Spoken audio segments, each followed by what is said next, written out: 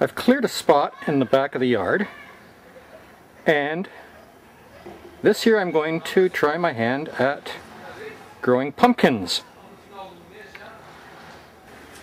There's quite a bit of literature out on the net about uh, how to grow pumpkins and they say to make uh, hills of about three feet wide and to make uh, a moat around them to hold water. So I've got enough room here for two hills. Pumpkins are also said to love the sun and this is facing north so we get the sun from the south and it's about 4.30 in the afternoon right now so this pumpkin patch is going to get the sun from the morning until quite late in the afternoon when the shadows will start to fall over to the left side there.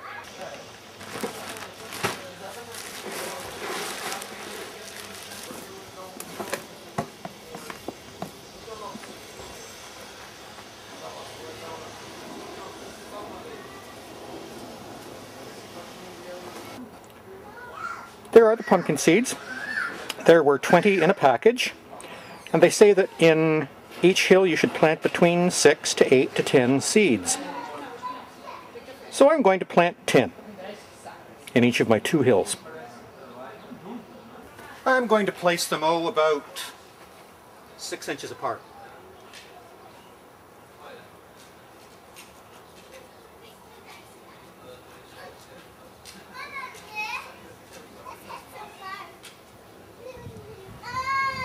I'm going to cover the seeds with a couple of inches of soil.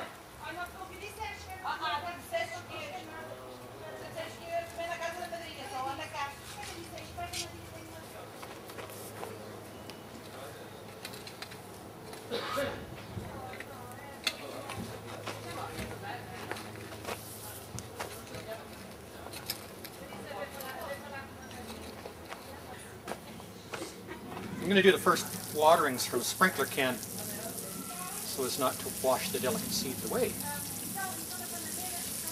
Once they've firmly taken root and they're sprouting vines, then I can switch to the garden hose or the lawn sprinkler.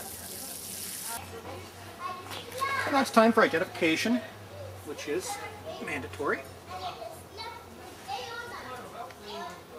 These are the jack-o'-lantern style of pumpkins, rather than the giant kind, because I'm hoping to be able to give them to friends and neighbors to make jack-o'-lanterns with at Halloween.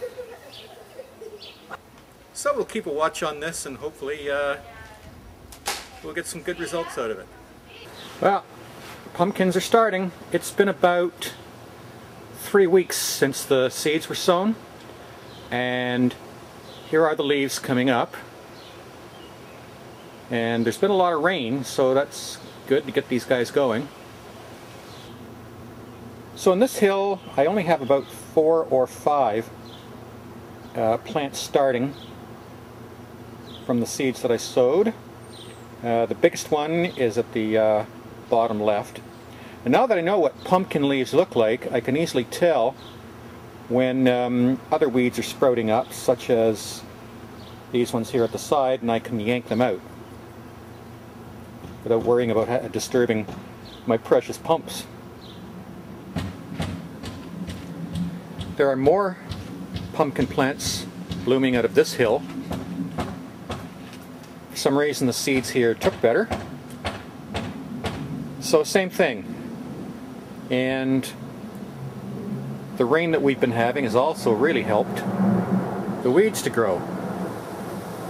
So I'm going to have to get busy here with my trusty pitchfork and dig all this ground up and rake the weeds out. So there we go. The pumpkin plants have taken root. They're starting to sprout. And the next thing to wait for, I guess, is for the flowers to form.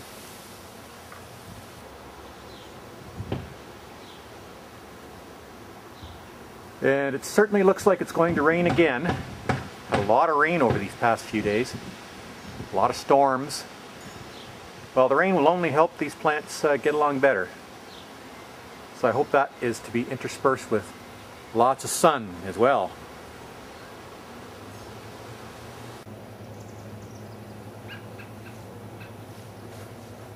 We got pumpkins growing and how we do. So from this hill, almost all of 10 seeds that I planted have, in fact, uh, germinated. Whereas over on the other hill, only about half of the seeds that I planted of the 10 uh, have sprouted. I can't get over the size of the uh, pumpkin leaves. They're the size of elephant's ears. And the vines are starting to spread out. Now they're going beyond the confines of the uh, pumpkin patch here and spreading out onto the actual lawn. There's a bigger one here, and along it comes. And it's probably going to spread all the way down the yard to the house here. I wouldn't be a bit surprised.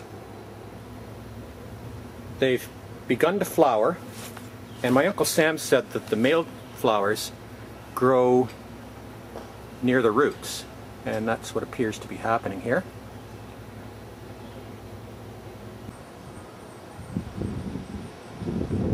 Well now, I know what they mean by the term pumpkin patch. Look how these things grow. Good golly. And it's just amazing to think that these started out from seeds only a short couple of months ago. Now I believe that the male flowers on the pumpkin are these longer stemmed ones that come from the vine. And here's a flower that um, has yet to open.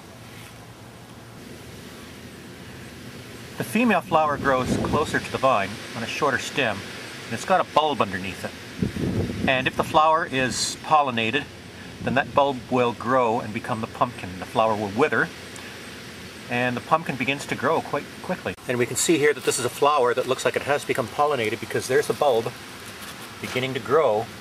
The flower will wither and die and that will become the pumpkin. Here's another one that's coming along, and uh, flowers beginning to wither, and the bulb getting uh, bigger beneath it. And here we have a pumpkin, and over very close to it, there's another pumpkin. You can see the stem on it that will become the, the familiar stem that you see on a jack-o'-lantern. These are jack-o'-lantern pumpkins. This one's the first that I saw growing, and it's the biggest so far. We see that its color right now is that of a, looks more like a watermelon, but I'm pretty sure as this begins to uh, ripen, oh, in about a month from now, it'll become the familiar great bright orange. It's the second pumpkin that I found growing on my vines, and it's becoming a nice size too. Uh, and that's going to be a good old jack-o'-lantern.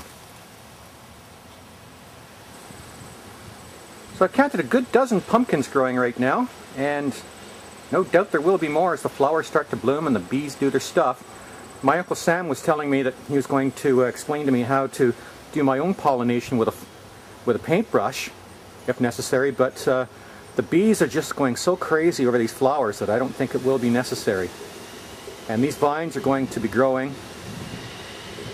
They're about a third of the way down the yard now, and they are probably going to grow the entire extent of the backyard right down near the house.